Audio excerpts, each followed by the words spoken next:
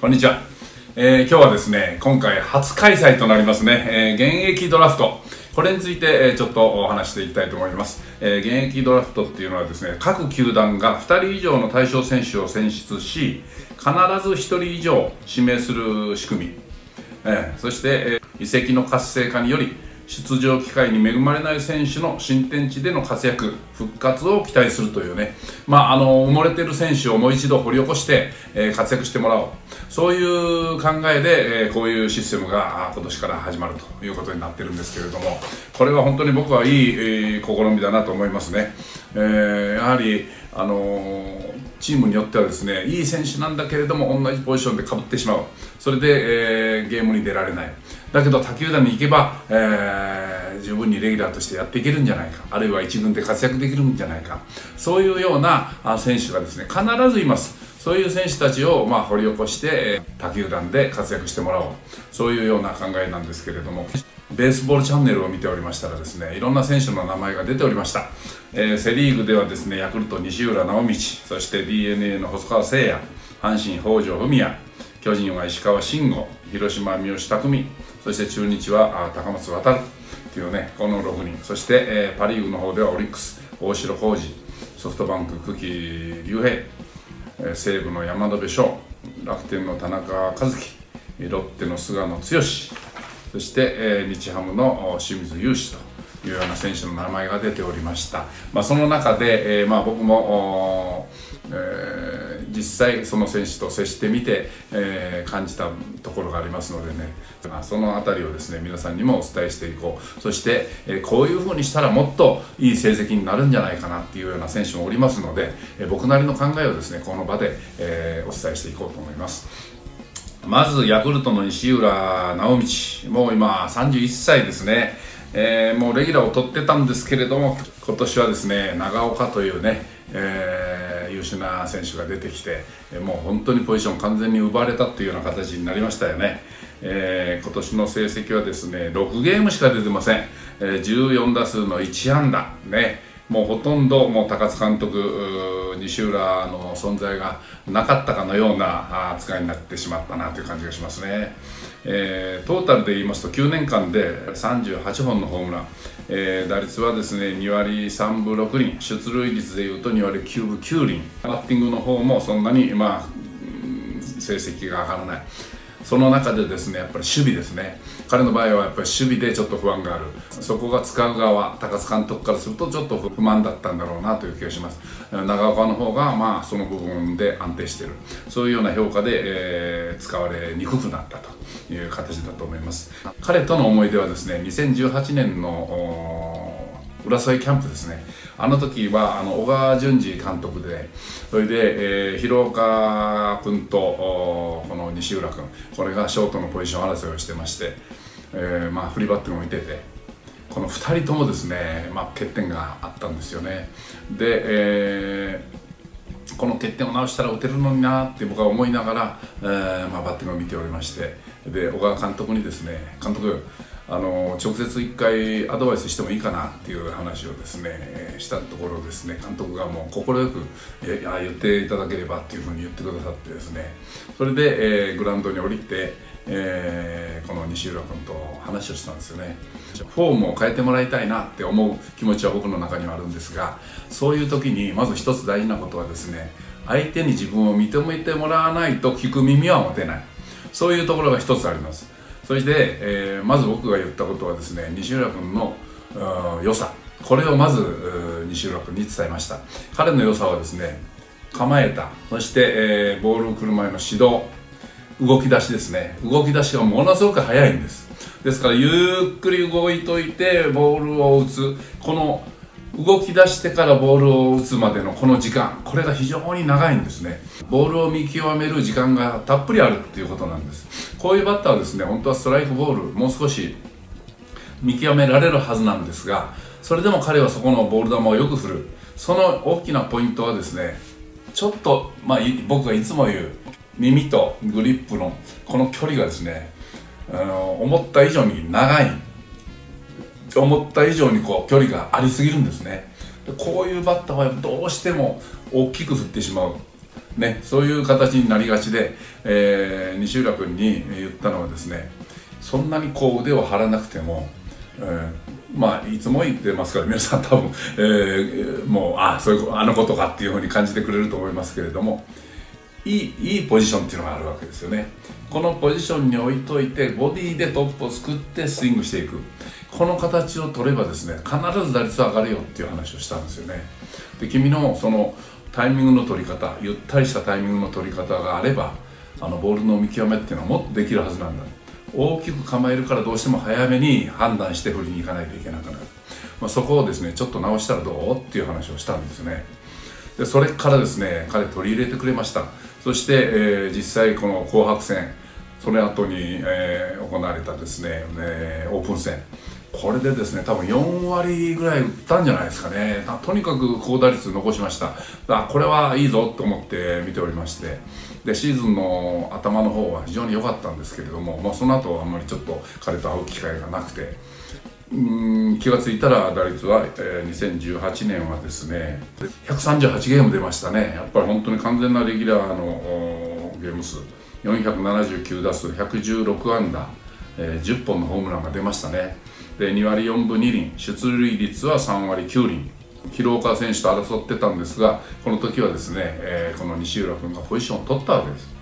で55打点。でもうショートとしてはあの優秀な成績だと思います。まあ僕からするともっと打率は上がるはずなんですけれどもちょっと後半また離れ出したのであまあ打率はそこそこ落ちていくなとは思ってましたけれどもあ力のある選手だ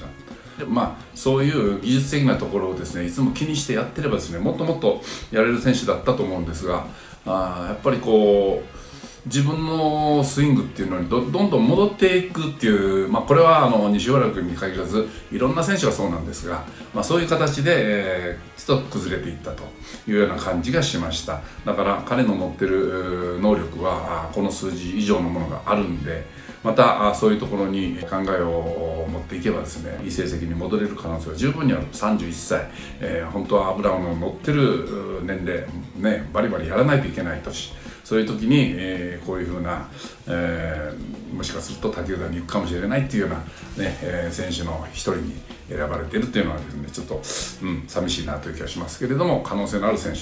そして DNA の細川誠也。これはですね2軍で2015年からですね4年連続の2桁ホームランを打ってる本当に魅力的な選手なんですけれども今年も2割7分5厘11本。ね、え、2軍の成績は決して悪くない。けれどもえー、1軍ではなかなか結果が出ない。この6年間で204打数41安打6本のホームラン19打点2割1厘。ねえー、これはあまりにも打てなさすぎますね。まあ見てて感じるのはですねやっぱり不器用。ボールをポッと見てスーって柔らかさがこうないんですね。どうしてもパッパッパッパッと止まってしまう。そういうような形のスイングになりがちなんですよね。それをもっと自分の体の方へブーッとゆったり持ってきといてきたスイング。きたスイング。動きの中でボールを見極める。ね。そして自分の体は前に泳がない。こういう形を意識していけばですね彼も好結果が出るはずのバッターだと思うんですけれども、まあ、不器用さこれがですね今のところ、えー、ちょっとこう障害になってるなという気はします。まだ24歳。ね、まだバッティングが本当に分かる年ではないですよ。これから、うん、どんどん経験を積みながらですねこういうもんだなっていうのを感じてもらえればまああのパワーはすごいですから、えー、この細川君の活躍っていうのはこれからはまだ見られるんじゃないのかなって気がしますね。そしてタイガースでは北条文也。この辺がですね28歳、えー、もう彼も本当レギュラー取ったような年もあるんですよね、えー、2016年かな。122ゲーム出て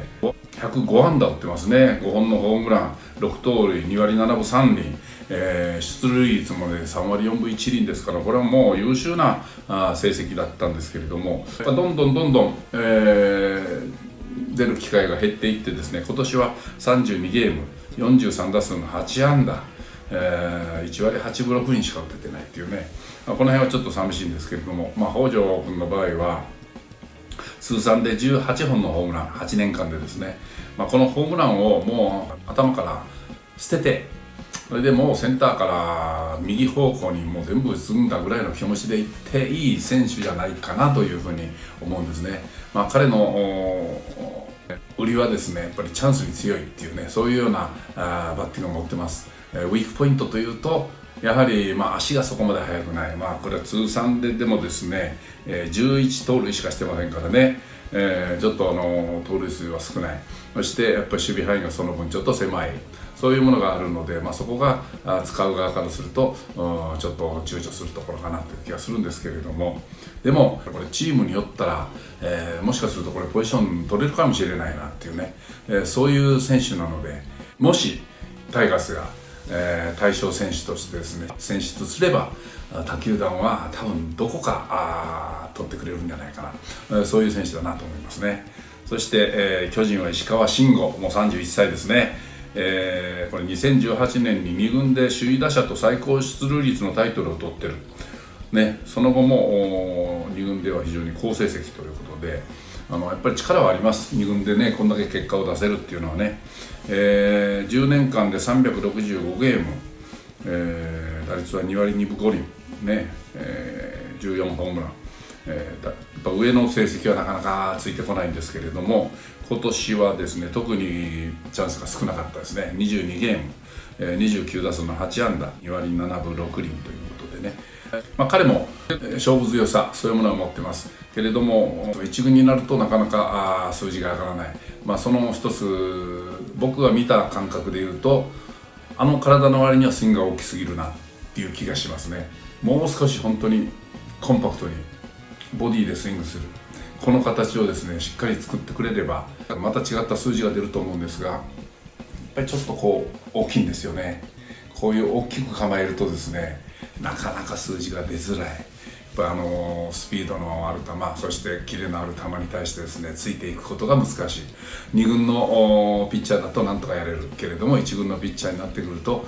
ついていけないっていうようなねことになっていく。その辺りをちょっと考えていけばどうかなという気がしますね。はい、そして、えー、広島では三好匠29歳。内野の守備は一級品ということでね、まあ、この人はもう守り、えー、守備固めっていう形になっていくのかなっていう気がしますね、まあ、11年間の打率がですね1割8分8厘70本のヒットということでねやっぱ打つ方でのアピールはあまりない。今年も10ゲームしか出てませんが2打数ノーヒットということでほとんど打席にも立ててなかったというね、まあ、そういう選手なんですけれども守備が弱いチームにとってはですね、えー、一回、えー、考えようかなということになるかもしれませんね。そしてドラゴンズの方ではですね高松渡23歳。この人の名前が出たのはちょっと驚きましたね。やっぱりドラゴンズになくてはならない。えー、そういう選手だと僕は見てます、えー、今年ドラフトでですね内野手を5人も獲得した、ね、ドラゴンズ思い切ったことやりました。そして阿部と京田この2人をですね出してしまったということでね、うん、かなり血の入れ替えっていうのをやってるんでしょうけども、えー、まあ野手陣はどちらにしてもちょっとこう薄いんですよね。えー、この高松選手の場合はやっぱり打つというよりはやっぱ走る。そういうところでアピールを今してますけれども、うん今シーズンは51ゲームに出て14打数しか立ってませんね。去年もうちょっと出てましたのであ去年頑張って今年はもうちょっともっと、えー、数多くゲームに出るのかなと思ったんですが、えー、ちょっと減った。この辺がちょっと寂しいなという気がします。彼が1軍でバリバリやるためにはですねやはり、打力向上。これ一本にかかってると思いますね。あとはあ問題なく1軍で活躍できる力を持ってます。ですからバッティングここをですね、えー、頑張って強化する。まあ一つはやっぱ体が細い。このオフこの3ヶ月間の間にですねやっぱり筋力強化。これも意識してやったらどうですかね。それだけでかなり、えー、今までの感覚と変わってきますので高松君あの技術も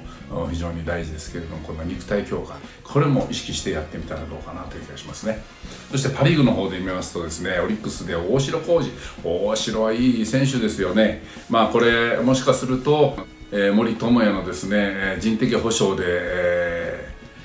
ー、プロテクトされなければお城取ろうかっていうような気持ちで西武は考えてるようなそういうやっぱりどこの球団にも欲しいそういうような選手だと思いますね。えーまあ、2017、18年は120ゲーム以上出てるってことはもうほとんどレギュラーですからねこのレギュラーはまだ29歳、うん、この選手が、えーまあ、今年はちょっと少なかったですね。57ゲーム2割4分4厘。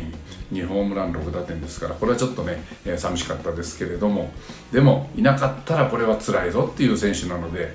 まあ実際はどうなんでしょう。これ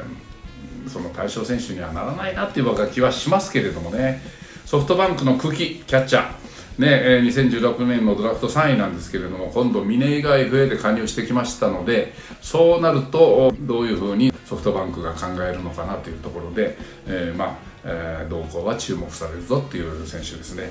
そして西武の山野辺翔27歳。え1年目でですね2軍で87ゲーム2割7分1厘12ホームラン29盗塁盗るようになってますね。これも足早かったんですけどもね。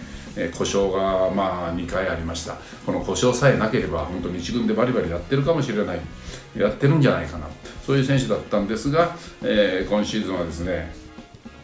30ゲームしか出てません。そして1割5分2厘の結果。2軍で49ゲーム2割8分1厘4本のホームラン8盗塁、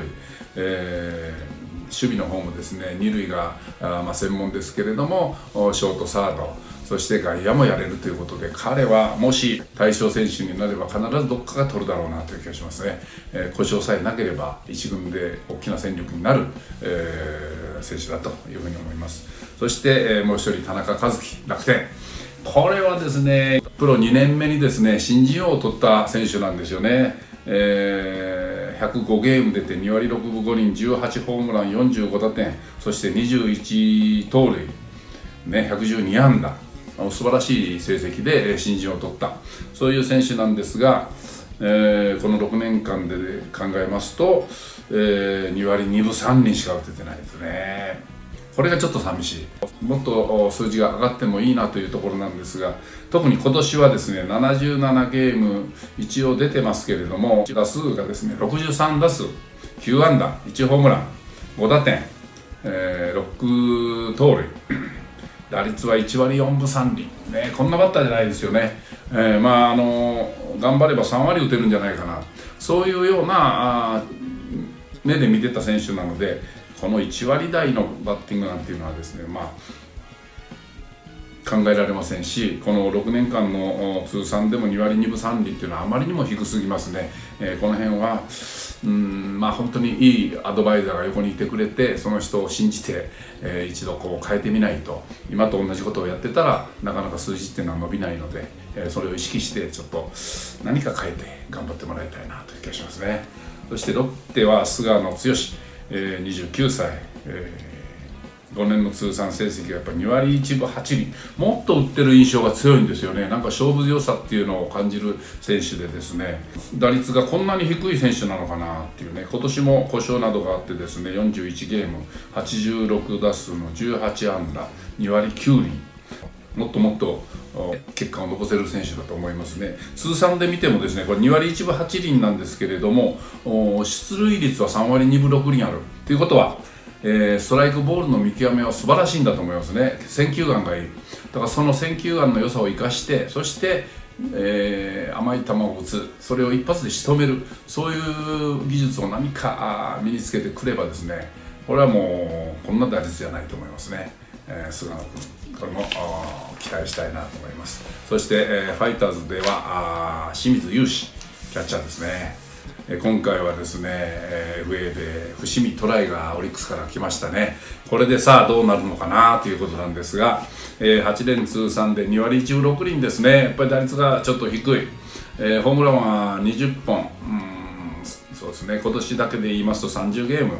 えー、62の12ホームラン0打点31割9分4厘。えー、ちょっと低すぎますね、えー、ここもやっぱり変えていかないといけないと思いますね、えー、バッティングコーチいっぱいいますけれどもその中にはあいいアドバイスをしてくれる人ばっかりではないんでね、えー、そこの見極め自分に合ったものを取り入れる、えー、言われてもですね合わないものはやめる。そういうような判断をやっぱり自分でやっていかないといけないんでね、えー、その辺難しいと思いますけれども、まあ、今言ったこの12人の選手みんなえー、これ一軍で活躍できる可能性のある選手ばっかりなのでこういう選手と一緒にですね僕ももう練習してみたいなっていうような気持ちになってしまいますね。なんかこう体がムズムズするようなそういう選手たちがずらっといるっていうね。こういう選手たちの数字が一気に変わればですねこんな楽しいことはないんでね、えー、この選手たちを受け持ってるコーチ陣の人たちにも頑張ってもらいたいなと思いますね、え、今日は12月9日に初めて行われますね、え、現役ドラフト。その対象選手になるんではないかなっていう選手たちのこれまでの成績そしてこれからどうしようかというようなことをお話ししてみました。以上です。